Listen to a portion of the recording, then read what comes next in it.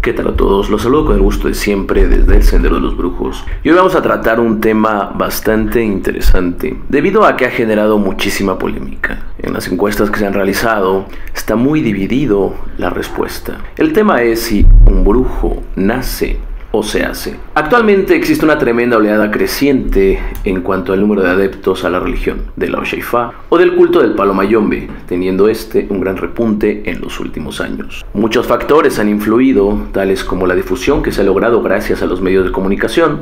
Sin embargo, esta oleada creciente también ha perjudicado a esto, ya que mucha gente carente de vocación y gran ambición, que aparece en las páginas de internet o en videos de YouTube o cualquier otra forma prácticamente, han provocado el que veamos estos cultos o religiones como algo meramente utilitario, al cual solo acuden personas ignorantes y que en el quehacer del mismo existe una total carencia de sentido. Aclaro, no todos, ya que existen páginas o videos con personas grandes que han tenido trayectos importantes y un real conocimiento.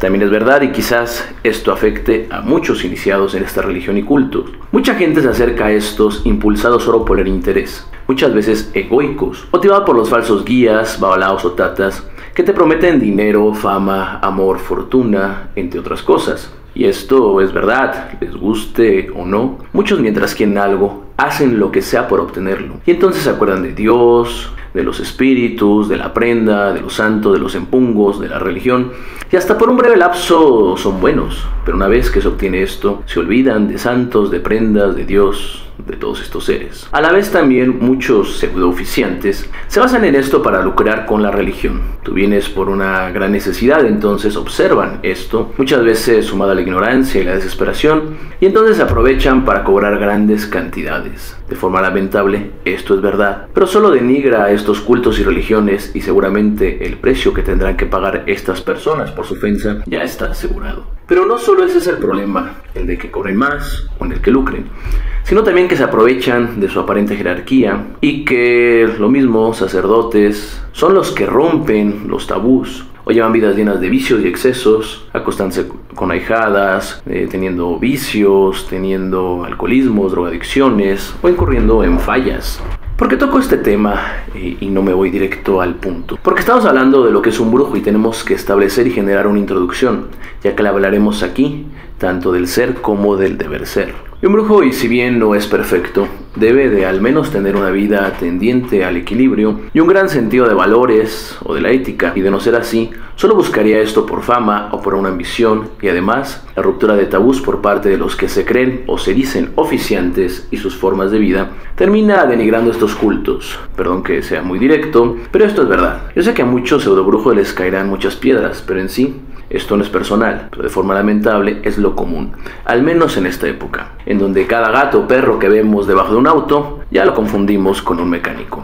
De igual forma, cualquiera que vemos con una quete o una quilla o hablando con un acento cubano de temas esotéricos en el YouTube, ya se las quiere dar de brujo. Este programa, sin bien tocará el tema del cual se tiene el título, también es un programa que busca generar conciencia en cuanto a esto que está pasando y que no solo es de lo que tratemos de hacer las cosas bien, depende que, las, que la religión o que los cultos estén bien, no solamente de la gente que marcha derecho, de los que tienen real conocimiento, sino también de ustedes que lo escuchan, porque al abrir los ojos también es importante que ustedes les ayuden a los demás a que los abran. Ustedes también tienen una función en esto. Somos una gran maquinaria en donde cada uno es un pequeño engranaje. Este tema es de suma importancia, ya que para entender el tema a tratar, hablamos de las afectaciones y repercusiones a nivel económico, ético en cuanto al desprestigio de la propia religión oculto, daños que no debemos de dejar atrás y ni mucho menos minimizarlos. Sin embargo, sumado a esto, y esto es muy importante, tal vez lo más importante, es que estamos hablando de vidas, de consultantes que vienen con problemas, que vienen con pobrezas, que vienen con su fe, que vienen con sus aflicciones, que vienen con, eh, digamos, problemas en el trabajo, problemas en la familia, eh, incluso gente que ya es experimentada, que ya se considera un gran brujo, un verdadero brujo, incluso le puede llegar a eh, costar trabajo tratar ciertos temas como es el fallecimiento, la pérdida de un hijo, la pérdida de un patrimonio, una enfermedad mortal, tanto propias como de un ser querido, de un familiar y muchos otros temas. Ahora, imagínense si para un brujo experimentado esto ya es muy complejo. Ahora imagínense para los sancocheros o personas no preparadas que solo hacen esto por o por ambición o que no tienen un real conocimiento. Un brujo no trabaja eh, con dinero o bienes, digamos, así como un banquero, una persona que dice, bueno, este, fallé el día de hoy y tengo ya menos dinero en la caja o perdí algún artículo, algo que se puede llegar a suplir. Trabaja con personas y eso que quede muy claro, tanto para los que consultan como los que se consultan. El fin de todo esto es ustedes, es la gente, su evolución moral, ética, material y espiritual. Pero iniciamos el tema que seguramente fue lo que te trajo aquí. El brujo nace o se hace. El tema es complejo debido a que muchos creen tener razón de un lado u otro, pero muchas veces estas razones están basados en primicias dogmáticas o argumentos y fundamento y mucho menos lógicos. Por lo que vamos a dividir al brujo en dos para empezar. Primero el oficiante, el que oficia la brujería, el que se dedica a esto. Es decir, el sacerdote de palomayombe, de santería o abalao que hace consultas y realiza trabajos. Y dos, el que puede o no oficiarlo, pero ya trae esa personalidad ya está esto de la brujería en su naturaleza, pero es algo potencial. Esto le facilitará el oficio, pero tendrá que despertarlo. Ahora, todos en sí tenemos la capacidad de desarrollo y todos sin excepción tenemos magia.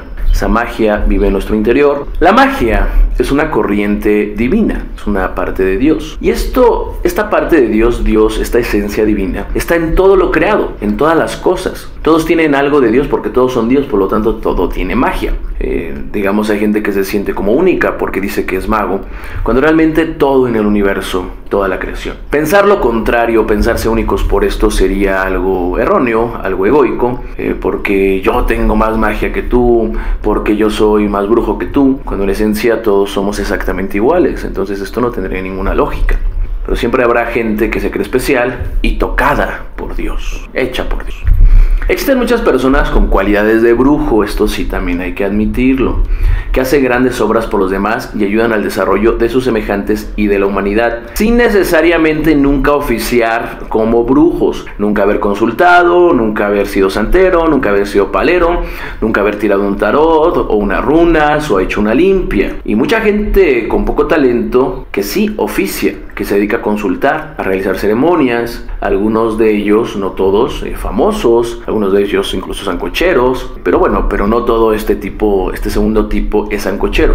Simplemente existen quienes por gusto lo hacen y quienes por lucrar también, porque quitarse la idea de un ser un, de que son mediocres y de no haber obtenido nada más relevante en su vida, entonces se dedican a esto. Esto también, tal vez esto le caiga a muchos, pero esto también es verdad. Hablando un poco de forma científica, eh, vamos a hablar de evolución o biológica, si lo quieren ver. No existe nada, nada realmente comprobado. Que también estamos hablando de cuestiones espirituales, pero vamos también a tocar la parte científica porque esto es un análisis al estilo del sendero de los brujos. No existe una propensidad, no, existe un gen un elemento físico corpóreo en la cabeza, ciertas vibraciones diferentes que hagan pensar que una persona tiene más capacidad para ser brujo o menos capacidad para hacerlo. Muchos dirán que tienen el tercer ojo abierto, pero ese tercer ojo es algo no físico, por lo tanto entonces no hay nada que se pueda como validar para que uno diga este tiene más capacidad para ser brujo y este tiene menos capacidad para hacerlo. Muchas personas que desarrollan lo espiritual en sí no tienen nada en especial que los diferencie de forma esencial, ¿ok?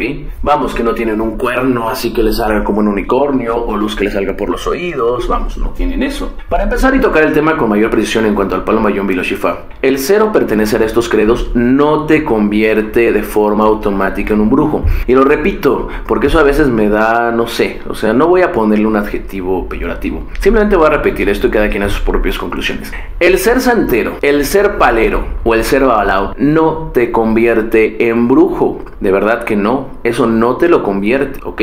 Como el ser católico, el tener un bautismo, un bautismo no te va a convertir en apóstol, ¿ok? La idea de que al el ser palero o rayarme, ser tata o ser babalao me hace brujo, ya se debe descartar de una vez por todas, ya olvídate. Si tú por estar rayado te crees que ya eres brujo, por ser santero crees que ya eres brujo, o estar iniciado en cualquier otro culto crees que eres brujo, te voy a decir que estás equivocado y a lo mejor eso no te va a gustar. Pero también te invito a que sigas escuchando porque vamos a ver algunas variantes de todo este tema. ¿ok? Eh, vamos a entender que hay brujos eh, en la parte del oficio y lo que conlleva es, eh, digamos, es una condición de aprendizaje, ¿ok?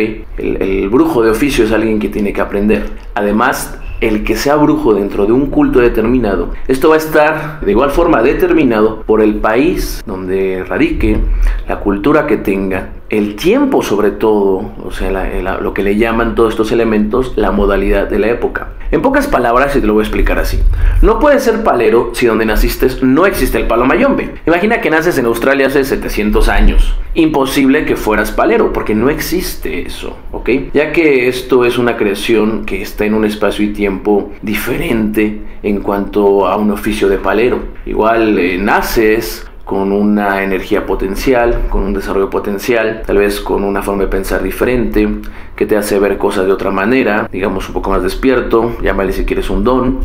Eh, en cuanto a esto espiritual y quizás eso te conlleve a buscar una conexión con la tierra, con la creación de una forma especial y eh, una vinculación diferente eh, buscando en los elementos. Y a lo mejor, obviamente, de si las circunstancias se dan y, tu voluntad de ser es así, puedes llegar a ser un chamán, ¿no? Pero no vas a ser un palero, eso te lo aseguro, porque en ese tiempo y en ese lugar no existía el concepto. Entonces, eso de que uno nace palero, vamos a irlo a descartar. Pero, y tampoco un santero, porque, bueno, hace 700 años esto pues no existía. Vas a ser una persona con ciertos dones, ciertos gustos, ciertas pues, curiosidades espirituales, eh, no sé, diferentes cosas. Pero no, no hay paleros o santeros de nacimiento, eso te lo aseguro. No hay nada que lo demuestre así. El brujo para empezar es un hombre que se le atribuyen poderes mágicos, poderes de adivinación y curaciones entre otros que, o que realizan hechizos de magia. Son lo que se le atribuye. Vamos a ver si esto, en el lapso del programa, si esto realmente ya te hace brujo. Sin embargo, la palabra brujo también se vincula con una persona de conocimiento y gran voluntad, un buscador de aquella sabiduría que escapa al común denominador del ordinario. Un brujo sería alguien con tal sensibilidad a lo creado y tanta curiosidad y respeto por lo mismo, que podemos decir que dentro del brujo existe una vena de filósofo o una vena de investigador, una vena de artista. Eh, todos hablando de forma católica o no, es verdad que fuimos hechos a la imagen y semejanza de Dios. Pero vamos a analizar esto. ¿Esto qué quiere decir? ¿Que Dios es antropomorfo? ¿Que Dios tiene la figura de un humano? No, en sí que todo es Dios. Por lo tanto, todo el universo es simplemente un reflejo de Él, un sueño de Él. Todo lo creado está hecho a su imagen y semejanza. Por lo tanto, al ser una emanación de Él, todo tiene su esencia. Y esa esencia podríamos llamarle magia. Por lo tanto, todos nacemos con magia. En todo el universo está la magia de Dios, está Dios. Pero no todos tendrán a bien desarrollarla o habrá dentro de estos mismos diferentes niveles de desarrollo. Eh, lo que quiero decir es que no todos serían buenos eh, oficiantes en la brujería o al menos oficiantes reales de la brujería. Puedes patear una pelota, pero eso no te garantiza que vayas a ser una estrella del Real Madrid. Y lanzar una pelota de papel hacia un bote de basura y atinarle todas las veces, tampoco te va a llevar a que tú seas un jugador de la NBA. Porque para eso privan las circunstancias, como digo, espaciales y temporales. Tal vez el haber nacido de dos metros en Los Ángeles podría incluso ayudarte más a que tú seas un basquetbolista. De forma particular, un brujo, digamos, natural, como, con personal, como la personalidad de brujo, no necesariamente que lo oficie como vengo diciendo. Tendrá características que lo pueden distinguir. No lo harán mejor ni peor que los demás, pero sí al menos le marcarán cierta diferencia, pero que por muchos dones o talentos que tenga, o que más bien le hayan sido conferidos, le hayan sido prestados, puede quedarse de forma potencial, pueden quedarse dormidos. Entonces aquí se ve la necesidad de, de un esfuerzo voluntario para realmente poder ser un oficiante. Entre ellos también tenemos que descartar la voluntad, la pasión y un gran sentido del respeto a todo lo creado. Ahora, un brujo oficiante, por su lado, debe de tener compromiso social, capacidad y voluntad de aprendizaje y un gran alto grado de ética y moral. Si tiene talentos natos o no, los podrá desarrollar debido a que debe de tener una gran voluntad. Y de forma común, lo que deben de tener de forma común, si, bien son muchas otras cosas, pero aquí vamos a reducirlo. De forma común, tanto un brujo oficiante como un brujo como personalidad, un brujo natural, debe de ser aquel que busque recorrer el sendero de la vida, al cual cada acto de la misma, incluyéndose la del mismo, vea un gran misterio, un gran misterio que le revele algo propio, algo ajeno, y que todo debe de ser un objeto de conocimiento para sí mismo, ya que un brujo también se puede clasificar como aquella persona que se conoce a sí mismo.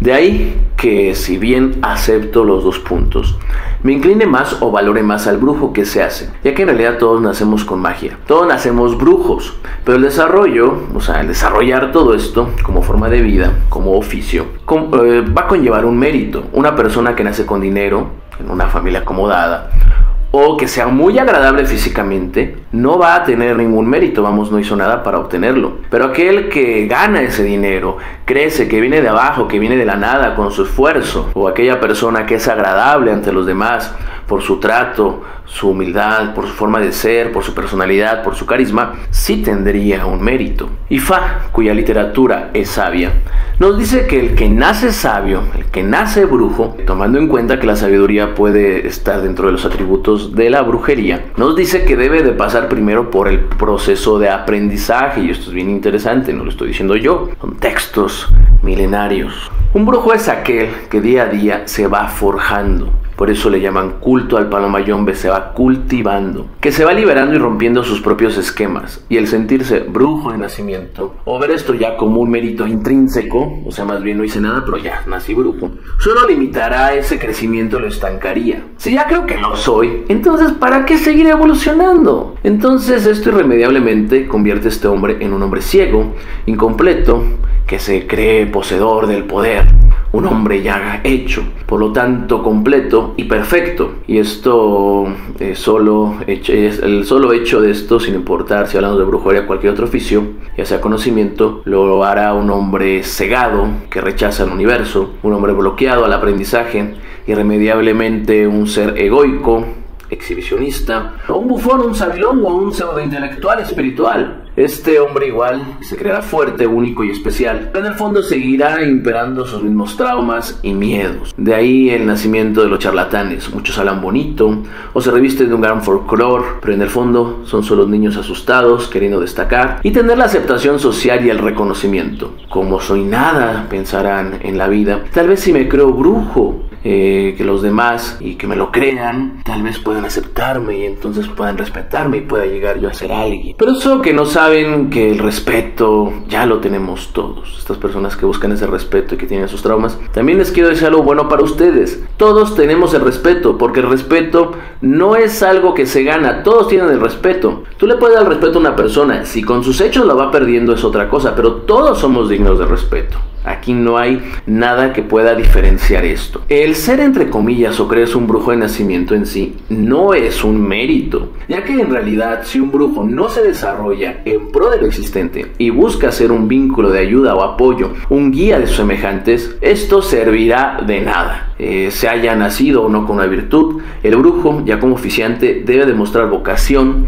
pasión y voluntad. Ahora es verdad que nacemos con un cierto sentido o vena esotérica, pero el ser esotéricos o ser más espirituales en sí, conocernos a nosotros mismos, eh, es eso. Ser más espirituales es conocernos a nosotros mismos. Nacemos con ciertas facultades, pero no nacemos brujos, ya que ser brujo requiere cierto desarrollo y apego a credos o doctrinas de forma indiferente. Guste o no, un brujo se va a pegar a una ideología. Aunque esta misma ideología le puedan provocar la libertad total y asegurar que los maestros sean internos, que no existen los maestros, que somos nosotros, de todos modos va a seguir un pensamiento, esto va a ser indiferente. Quiero ser tata, debo de saber de palomayombe. Quiero ser obao santero, debo de saber de santería. Quiero ser chamán, pues debo de saber de aquel, en aquel lugar, cómo se le llama, a, cómo se le llame al chamanismo, de esa doctrina, de esa forma de pensar. Quiero ser babalao, de igual forma debo de saber de Ifá.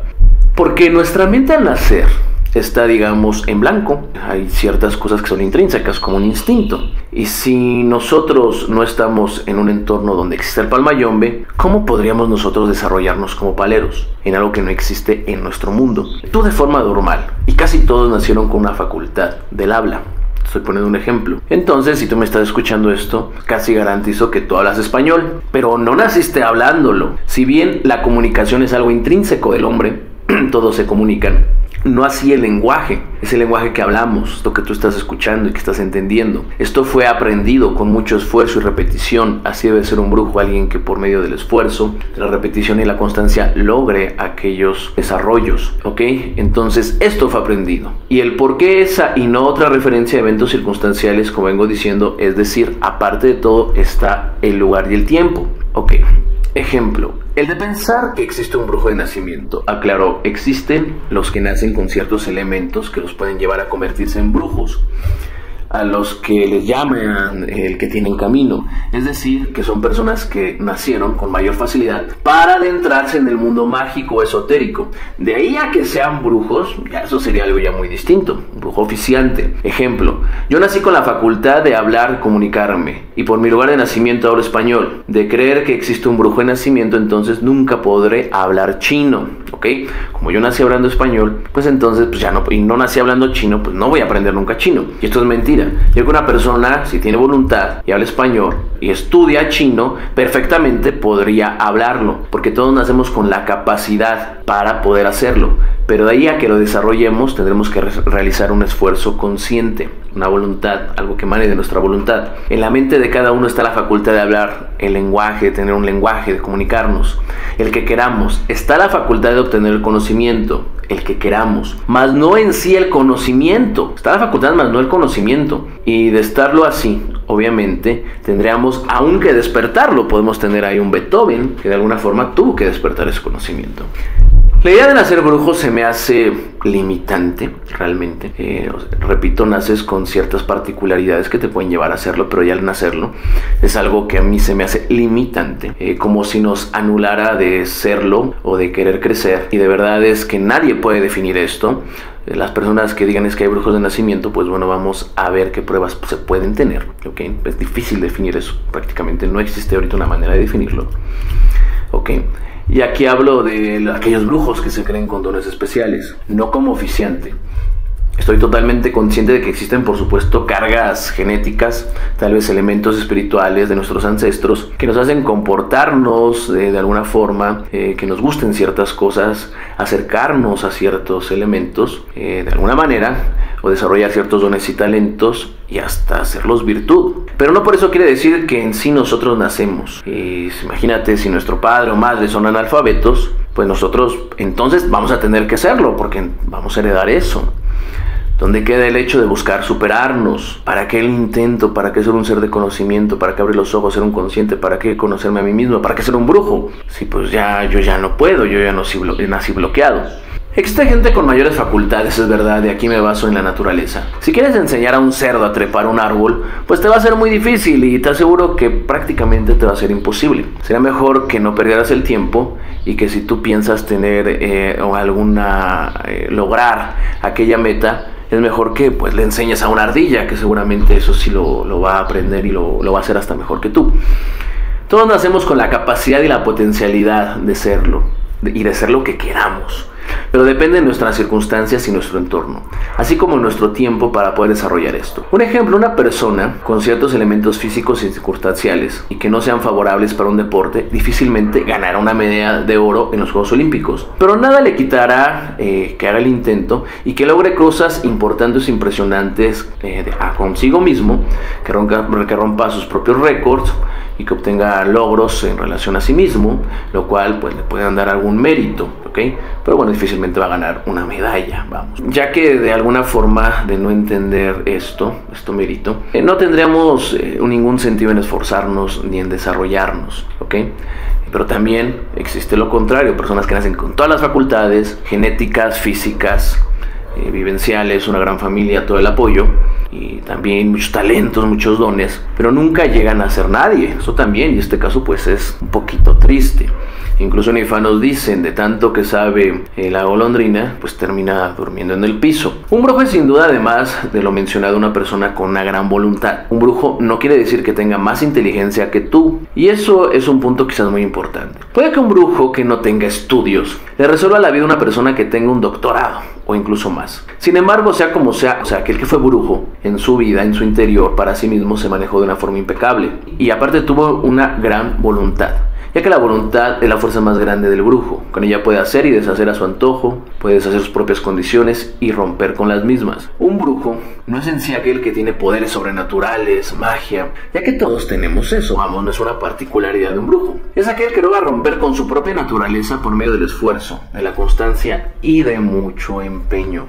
Con la voluntad podemos quitarnos incluso de nuestras ataduras genéticas, no necesariamente porque tu abuelo murió del corazón o murió con diabetes o murió pobre, quiere decir que tú vayas a morir de corazón o diabético pobre. Si tú tienes una vida de esfuerzo, es una vida de cuidados y una vida sana. Eso va a reducir muchísimo. Vas a tener la propensidad tal vez, pero si tú haces las cosas de forma correcta, seguramente vas a tener otro desenlace. Por ejemplo, los mejores radiólogos, y esto es lo que yo estoy investigando para ver que esto también tiene que ver mucho con el espacio, tiempo, circunstancias están en Suecia. ¿Por qué estarán en Suecia? Vamos a preguntarnos. Los mejores ingenieros industriales están en Noruega, en Alemania y Suiza. ¿Por qué estarán los mejores ingenieros industriales en esos países? ¿Por qué, ¿Por qué están ahí los mejores? ¿Por qué? Porque en aquellos países se brindan el entorno, las condiciones y la demanda necesaria para que estas carreras se desarrollen a tal magnitud y y tal excelencia. Eso no quiere decir que no existan grandes ingenieros en la India, en Estados Unidos o en México. Tenemos muchísimos ingenieros en Latinoamérica, tenemos muchísimo talento.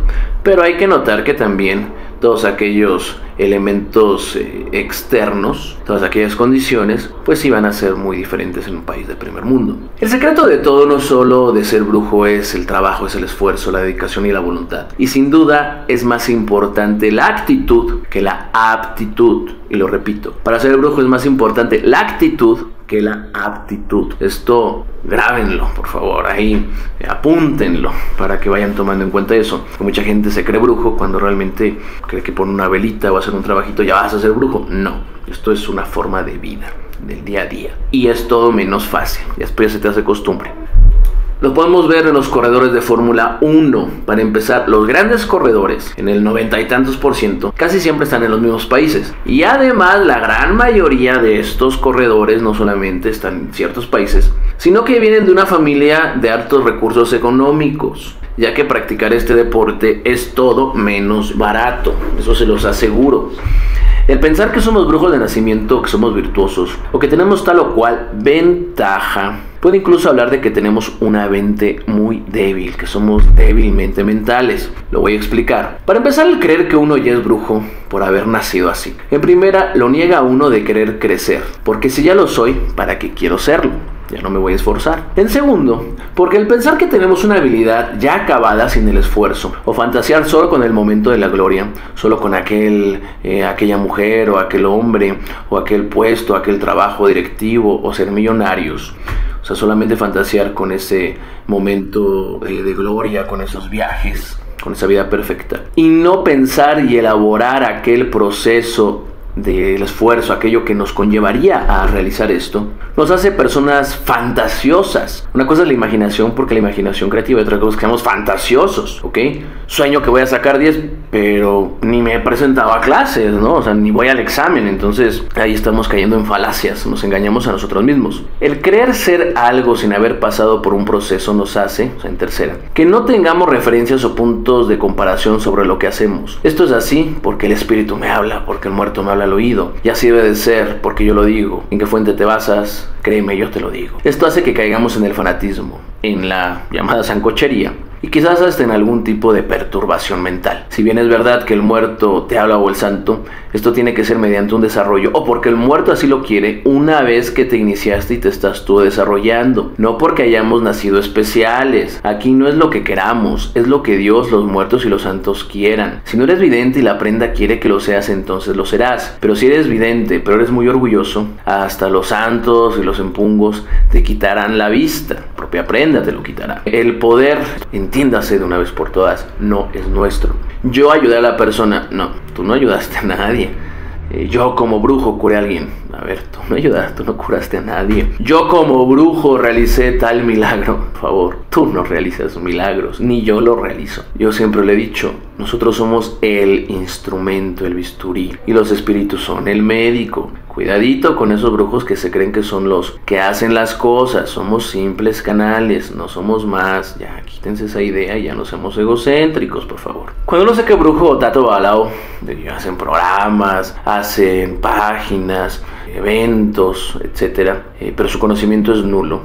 Eh, hablan, tienen argumentaciones pobres, o son muy labiosos, o no saben hablar, o no tienen base. Por lo tanto, sus respuestas, ustedes veanlo, serán pues muy ambiguas y muy pobres. Me imagino como cuando alguien que no estudiaba para un examen y este era oral, y cuando ya lo iban a probar, él podía decirle a todos, sí, yo soy gran estudiante, voy 10, sí, yo voy a estar excelente. Y cuando llegaba la hora de la verdad o un trabajo, o le preguntaban las respuestas o que desarrollaran enfrente de todos un tema, pues empezaba a echar el verbo, decía puras tonterías o se quedaba trabado, o no sabía contestar. Y entonces ya de entrada uno, ya sabe cuando alguien no sabe. Esto yo también he dado muchos cursos y he hecho, obviamente pregunto, a ver, ¿qué, qué es esto? ¿Qué es aquello?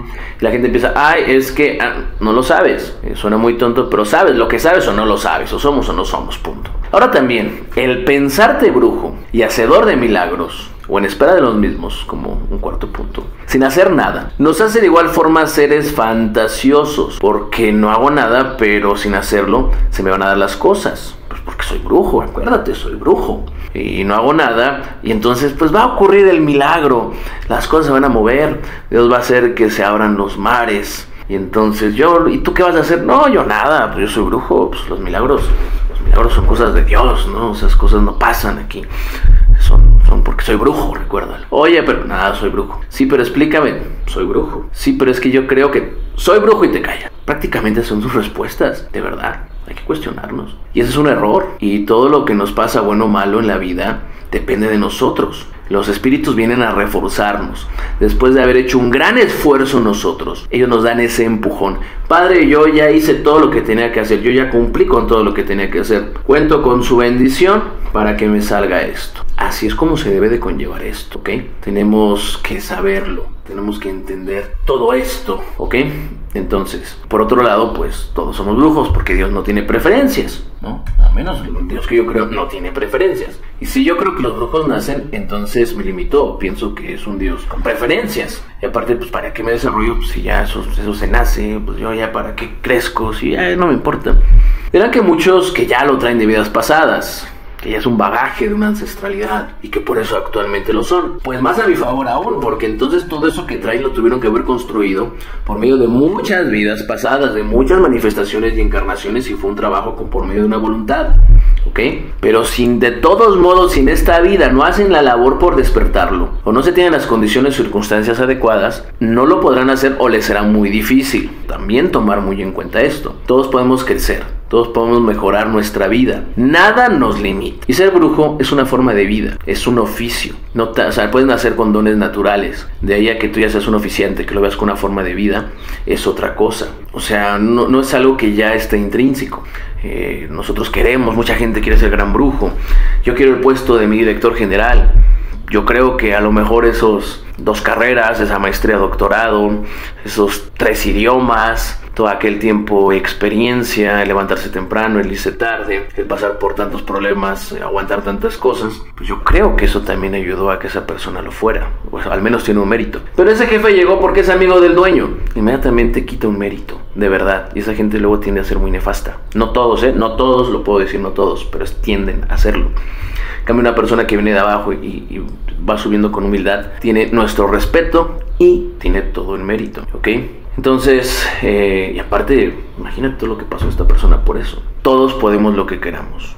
Tú quieres ser brujo, tú que me escuchas, tú quieres un auto, tú quieres mejorar tu situación de vida, tú quieres el amor, tú quieres una casa, lo puedes obtener. Esfuérzate y paga el precio. Así de sencillo. No hay más. Hasta en la religión tú pides algo, agradeces algo, pues tienes que dar a cambio ya sea una fruta, ya sea un llamado de bo, ya sea una dimú, ya sea un animal, ya sea un algo. Mínimo, pensar la petición e ir a pedirla. Mínimo. Vamos a hablar de un brujo típico. Eh, un brujo típico también, porque aquí vamos a hablar de muchas formas de lo que es el brujo. Un brujo, además de todo, tiene que saber muchas cosas. Tiene que saber de piedras, tiene que saber de plantas, tiene que saber de palos, de símbolos, de firmas, de nombres de empungos, de santos, porque no nació con ese conocimiento, eso sí te lo aseguro, eso lo fue aprendiendo. Que posteriormente se le haga fácil o que lo haga de forma natural, eso ya es otra cosa, pero primero tiene que aprenderlo o al menos haberlo conocido. Y el momento que tú conoces algo, en ese momento lo atrapas con tu mente y lo aprendes, ¿ok? Pues aprender, va de aprender, de atrapar con tu mente, ¿ok?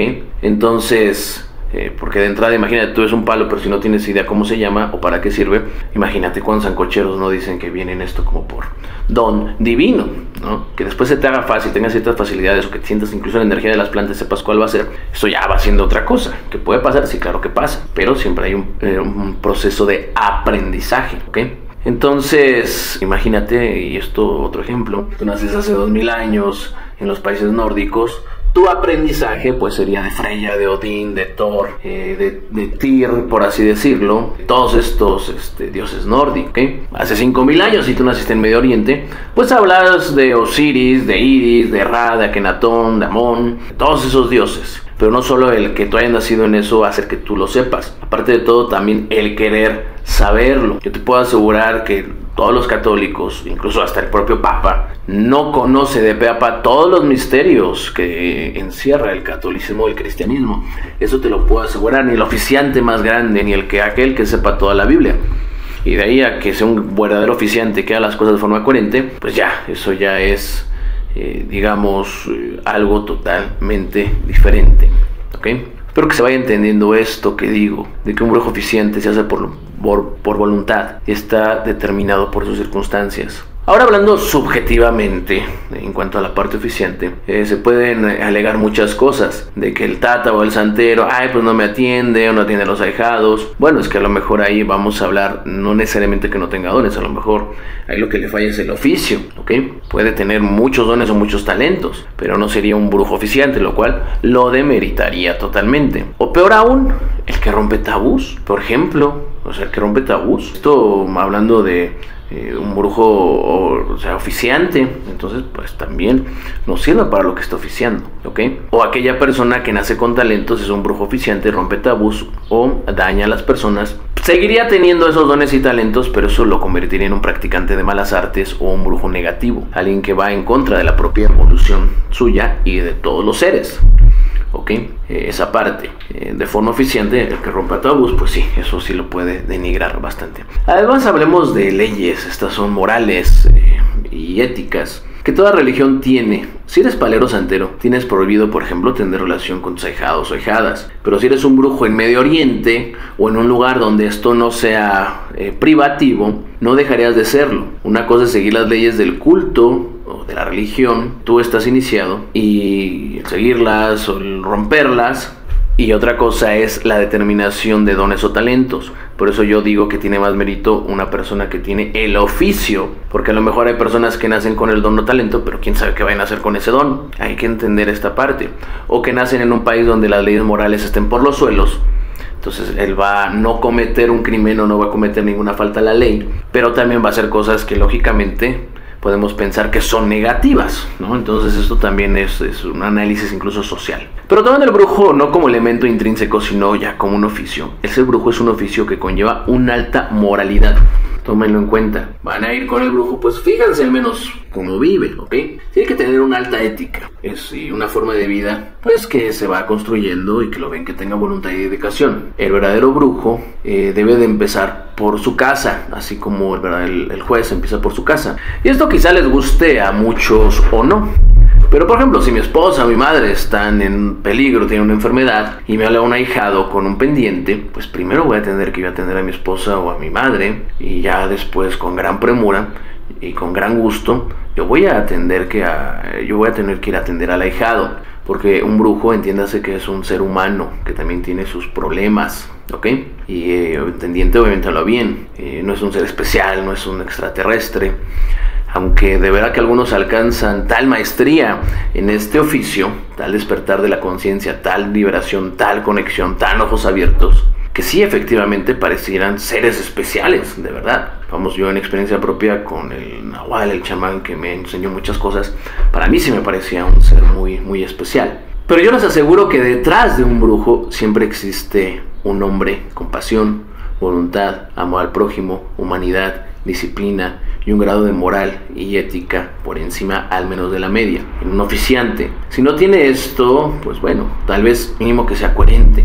Porque puede hablar muy bonito, ser muy faramayoso, puede incluso ser un gran adivino, tirarte runas, tirarte el tarot, adivinarte todo, lograr hacer muchas cosas y trabajos que funcionen. Eh, pero, o sea, te puede hacer muchas cosas. Puede tirarte el chamalongo y ser un... Ten maestría en el chamalongo. Puede ser un caracorelo, un diloguero realmente importante, ¿ok? Eh, aprenderse todos los libros de Ifá de memoria, todos los libros de Santo de memoria. Y bueno, esto solamente hace que sea una persona pues, con una gran memoria, con una gran dedicación. De ahí a que sea un guía espiritual, porque latino en el tarot o latino en las runas. De ahí a que sea un guía espiritual, del cual te pueda dar consejos. Y más aún un brujo, un chamán, o un buen religioso, un buen santero, un buen balao, un buen tata. Eso ya dista mucho, eso ya digamos es harina de otro costal. Al final con este tema, no busco imponer mis ideas, simplemente dar un punto de vista basado en un análisis, experiencias y observaciones. Ustedes, como siempre, tendrán la última palabra, cada quien va a creer lo que quiera. Si crees que un brujo nace ya formado, está bien, sea respetable. Pero quizás esto que acabas tú de escuchar pueda, si no cambiar tu punto de vista, lo que yo no pretendo, si otorgarte más argumentos para que tú tengas una reflexión interna, que tú mismo, tú misma, puedes llegar a una verdad. Y esa verdad que tú llegues por medio de lo que yo hago, en definitiva, será más importante para ti, porque será tuya, ¿ok? Tómalo muy en cuenta. También hay que entender esta parte. Eh, existen, aunque no queramos, premisas y factores lógicos, eh, científicos, reales, leyes universales, creamos o no creamos en ella. Hablando en términos de lógica, lo que es, es. Lo que es no puede no ser. Lo que es eh, no puede... Lo que es es, por lo tanto, no puede ser otra cosa. Estamos hablando de las primicias lógicas, ¿ok? ¿Y a qué venimos aquí? A convertirnos, a convertirnos en hombres y mujeres de bien, evolucionar. Y ese camino no es fácil, pero si se tiene la voluntad, aseguro que tú podrás incluso modificar tu vida. En Paloma Yombe el refrán, recuérdalo, es, no es nos hacemos o, o nacemos o creemos el refrán más fuerte es somos o no somos y eso requiere una gran voluntad. Tal vez te hayan dicho que eres brujo eh, de nacimiento, que tienes un camino, quizás tengas dones eh, de adivinación y quizás puedes realizar ciertas cosas. Pero en definitiva, recuérdalo, eso no te hace un brujo. Un brujo es una forma de vida que te va a obligar a ser mejor como persona. Y eso también te va a ayudar a quitarte el ego. Y al quitarte el ego, por ende, vas a empezar a ayudar a los demás por igual porque en esencia todos somos brujos, todos, tenemos magia. Tú que eres, en esencia, o yo que soy, en esencia yo soy lo mismo que tú. Y en esencia tú eres lo mismo que yo. Yo espero que este programa les haya gustado. También espero que haya despertado, digamos, mucha polémica. También yo espero que mucha gente se vaya a sentir afectado por esto. Porque también este tipo de programa, este tipo de temas tan polémicos, si no molestan, tal vez no lleguen al punto adecuado. Espero que tengas una noción diferente. Respeta tus creencias, lo que tú quieras creer en relación a esto. Pero sí, date la tarea un poquito de dudar a veces de lo que uno piensa y entonces te puedes dar la oportunidad de poder llegar a creer o conocer cosas que tú mismo estás bloqueando a hacerlo. Entonces yo te comento que compartas, que te suscribas, que comentes, que des like, que participes. Es muy importante que me digas qué te pareció este tema. Y me despido de todos ustedes. Y recuerda que estamos aquí, en el Sendero de los Brujos. Muchas gracias.